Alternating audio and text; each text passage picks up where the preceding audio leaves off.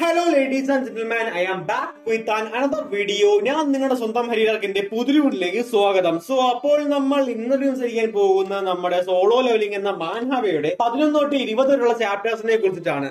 അപ്പോൾ നിങ്ങളുടെ ചാനൽ പറഞ്ഞ് കാണുന്നെങ്കിൽ please like and subscribe and let's go to the video so ഭയാനകമായ ഒരു പൊട്ടിത്തെറിയിലാണ് കഴിഞ്ഞ ചാപ്റ്റർ അവസാനിച്ചത്.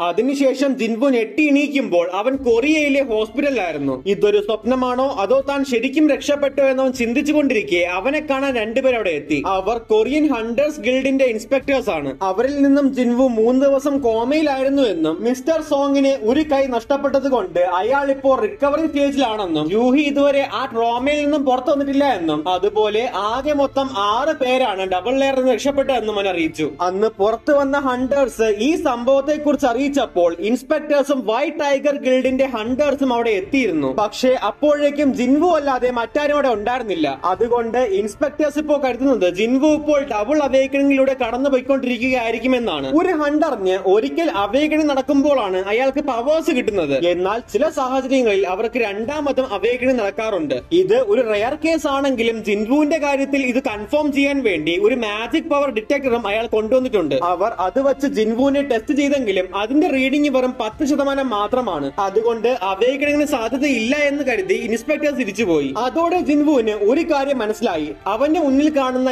ഈ സ്ക്രീന് അത് അവന് മാത്രമേ കാണാൻ പറ്റുള്ളൂ എന്ന്. അതുപോലെ അപ്പോഴാണ് അവൻ തന്റെ കൈക്കും കാലിനും ഒരു കുഴപ്പവും ഇല്ല എന്ന് മനസ്സിലാക്കിയത്. ഈ സമയം അവന്റെ അനിയത്തിയായ ജിൻഹ അവിടെ എത്തി. അവന്റെ സുഖവിവരങ്ങളൊക്കെ അന്വേഷിച്ചിട്ട് അവിടെ നിന്നും പോയി. ശേഷം ജിൻവു തന്റെ സ്ക്രീനിലെ അൺറീഡർ മെസ്സേജുകളൊക്കെ ഒന്ന് വായിച്ചു. അതിൽ പുതിയൊരു ക്വസ്റ്റ് വന്ന് കിടപ്പുണ്ട്. Daily quest preparing to become strong has arrived ശേഷം അലാറമായിട്ട് system will help the players growth എന്നും if he fail to obey the systems order may be a penalty എന്നും കാണിക്കുന്നുണ്ട്. ശേഷം അവന്റെ ഡെയിലി ക്വസ്റ്റ് ആയിട്ട് നൂറ് പുഷപ്പും നൂറ് സ്ക്വാട്ടും ഇരുന്നൂറ് കറലപ്പും പത്ത് കിലോമീറ്റർ റണ്ണിങ്ങും സിസ്റ്റം കൊടുത്തു. ഇത് പറഞ്ഞ സമയത്തിനുള്ളിൽ തീർത്തില്ല എങ്കിൽ അവന് പണിഷ്മെന്റും കിട്ടും. പക്ഷേ ജിൻവു ഇത് കണക്കാക്കാതെ അവൻ കിടന്നുറങ്ങി. അതിന്റെ സമയം കഴിഞ്ഞപ്പോഴേക്കും അവന്റെ റൂം കുലുങ്ങി. അവനൊരു മരുഭൂമിയിൽ എത്തിപ്പെട്ടു അവിടെ വലിയ മോൺസ്റ്റേഴ്സ് അവനെ ആക്രമിക്കാനും വന്നു. പണിഷ്മെന്റ് ആയിട്ട് അവൻ അവിടെ നാല് മണിക്കൂർ സർവൈവ് ചെയ്താൽ മാത്രമേ അവന് തിരിച്ചു പോകാനും പറ്റൂ. അങ്ങനെ നാല് മണിക്കൂർ അതിന്റെ അകത്ത് കിടന്ന് കഷ്ടപ്പെട്ടിട്ട് അവൻ തിരിച്ച് അവന്റെ റൂമിലെത്തി. അതോടെ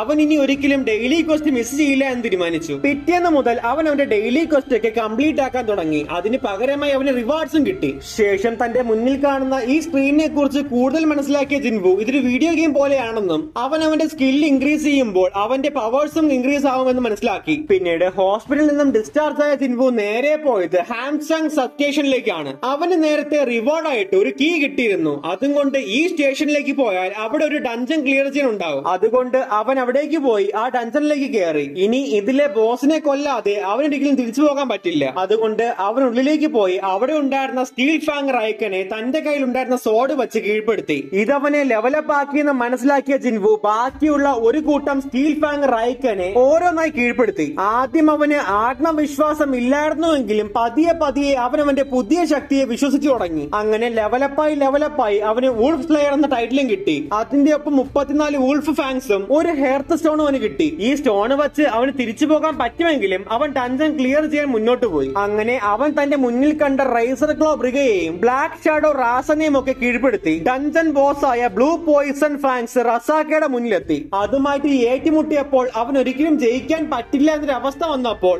അവൻ എത്രത്തോളം വീക്ക് ആണെന്ന് മനസ്സിലാക്കി. ഇനിയും അങ്ങനെ തുടരാൻ തനിക്ക് താല്പര്യമില്ല എന്ന് പറഞ്ഞ് അവൻ കുറച്ച് കഷ്ടപ്പെട്ടിട്ടാണെങ്കിലും അതിനെയും കീഴ്പ്പെടുത്തി. അതിനെ കൊന്നതിലൂടെ അവന് റസാക്ക പോയിസൺസും റസാക്ക ഫാങ്സ് എന്ന ഡാഗറും കിട്ടി. ഡൻസൺ ക്ലിയർ ചെയ്ത് അവൻ സ്റ്റേഷന് പുറത്തു വന്നപ്പോൾ അവൻ അവിടെ ഒരു പട്ടളക്കാരനെ കണ്ടു. അയാളിൽ നിന്നും അടുത്ത് ഗേറ്റ് ഓപ്പൺ ആയി എന്നും അതിൽ നിന്നും ഒരു മോൺസ്റ്റർ പുറത്തിറങ്ങി എന്ന് മനസ്സിലാക്കി. ഒരു കൂട്ടം പട്ടാളക്കാർ ജനങ്ങളെ നിയന്ത്രിക്കുമ്പോൾ മറ്റൊരു കൂട്ടം ഹണ്ടേഴ്സ് മോൺസ്റ്ററിനെ ഏറ്റുമുട്ടുന്നുണ്ട്. അവരുടെ കൂടെ ജൂഹി ഉണ്ടായിരുന്നുവെങ്കിലും അവൾ ഇതൊരു ആ ട്രോമയിൽ നിന്ന് പുറത്തിറത്തത് കൊണ്ട് അവൾക്കാരെയും ഹീൽ ചെയ്യാൻ സാധിച്ചിരുന്നില്ല. ഇത് കണ്ട ചിൻവു തന്റെ കയ്യിലുണ്ടായിരുന്ന പൊട്ടിയ സോഡ് ആ മോൺസണ് നേരെ എറിഞ്ഞ് അതിനെ കീഴ്പ്പെടുത്തി. എന്നിട്ട് ആരും കാണാതെ അവിടെ നിന്നും പോയി. ശേഷം ഹോസ്പിറ്റലിലെത്തിയ അവൻ അവിടെയും തന്റെ ഡെയിലി ക്വസ്റ്റ് ചെയ്തുകൊണ്ടിരുന്നു. ഈ ഡെയിലി ക്വസ്റ്റ് കാരണം അവന്റെ ബോഡിക്ക് ഭയങ്കര മാറ്റങ്ങളാണ് ഉണ്ടായത്. അവന്റെ ലുക്ക് തന്നെ ആകെ മാറി. ഈ സമയം അവിടെ എത്തിയ നഴ്സ് അവൻ ഡിസ്ചാർജ് ആയെന്ന കാര്യവും പറഞ്ഞ് അതിന്റെ ഒപ്പം തന്റെ നമ്പർ അവന് കൊടുത്തു. അവൻ തന്റെ മെഡിക്കൽ റിപ്പോർട്ട് അയക്കാനായിരിക്കുമെന്ന് കരുതി അതും വാങ്ങി തിരിച്ച് വീട്ടിലേക്ക് പോയി. വീട്ടിലെത്തിയപ്പോൾ അവന്റെ അനിയ അനിയത്തിയും അവന്റെ ചേഞ്ചസ് മനസ്സിലാക്കി. ശേഷം തന്റെ അനിയത്തിയെ സ്കൂളിൽ പറഞ്ഞിട്ട് തന്റെ ഡെയിലി ക്വസ്റ്റിംഗ് കംപ്ലീറ്റ് ചെയ്ത് ജിൻവു നേരെ ഹണ്ടർ ജോലി ചെയ്യാൻ വേണ്ടി അടുത്തുള്ള ഗേറ്റിലേക്ക് പോയി. ഇപ്രാവശ്യം അഞ്ച് സി റാങ്ക് മെമ്പേഴ്സും നാല് ഡി റാങ്ക് മെമ്പേഴ്സും ഉള്ള ടീമിന്റെ കൂടെയാണ് അവൻ ഗേറ്റിലേക്ക് പോയത്.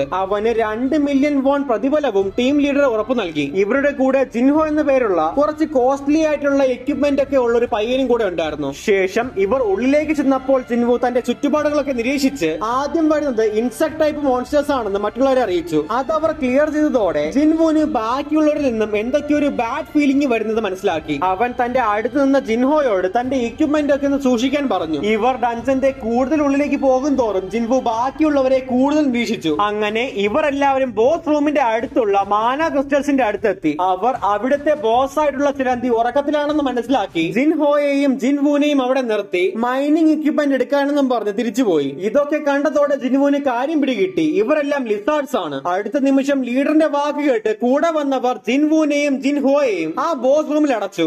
അവിടെ ചാപ്റ്റർ ഇരുപതും അവസാനിച്ചു. സോ കഴിഞ്ഞു ഗൈസ് ഇതാണ് സോളോ ലെവലിംഗിന്റെ മാൻഹാവയുടെ ചാപ്റ്റർ പതിനൊന്ന് തൊട്ട് ഇരുപത് വരെയുള്ള കഥ. പിന്നെ സോളോ ലെവലിംഗിന്റെ ആദ്യ പത്ത് ചാപ്റ്റേഴ്സിന്റെ വീഡിയോ കാണാത്തവർക്ക് അതിന്റെ ലിങ്ക് ഞാൻ ഡിസ്ക്രിപ്ഷൻ ബോക്സിൽ കൊടുത്തിട്ടുണ്ട്. അതല്ല സോളോ ലെവലിംഗിന്റെ മാൻവ വായിക്കാൻ താല്പര്യമുള്ളവർക്ക് അതിന്റെ ലിങ്ക് ഞാൻ എന്റെ ഇൻസ്റ്റാഗ്രാം ഹൈലൈറ്റ്സിൽ കൊടുത്തിട്ടുണ്ട്. സോ കഴിഞ്ഞു ഗൈസ് ഇതൊക്കെ തന്നെയാണ് സോളോ ലെവലിംഗിനെ കുറിച്ച് പറയാനുള്ളത്. ഞാൻ ഏതെല്ലാം പോയിന്റ് പറയാൻ വിട്ടുപോയിട്ടുണ്ടെങ്കിൽ ദയവായി കമന്റ് ബോക്സിൽ അറിയിക്കുക. ഇതുപോലെ ഏതെങ്കിലും മാങ്കയെ കുറിച്ചോ അല്ലെങ്കിൽ മാൻവയെ കുറിച്ചോ താല്പര്യമുണ്ടെങ്കിൽ അതും എന്നെ കമന്റ് ബോക്സിൽ അറിയിക്കുക. പിന്നെ വീഡിയോ ഇഷ്ടമായെങ്കിൽ ലൈക്ക് ചെയ്യുക സബ്സ്ക്രൈബ് ചെയ്യുക പറ്റുമെങ്കിൽ എന്റെ ഇൻസ്റ്റാഗ്രാം അക്കൗണ്ട് ഒന്ന് ഫോളോ ചെയ്യുക. ലിങ്ക് ഡിസ്ക്രിപ്ഷൻ ബോക്സിലുണ്ട് അപ്പോൾ മറ്റൊരു വീണ്ടും കാണാമെന്ന് പ്രതീക്ഷയോടെ. ഫാണല്ലോ സൈനിങ് ഔട്ട്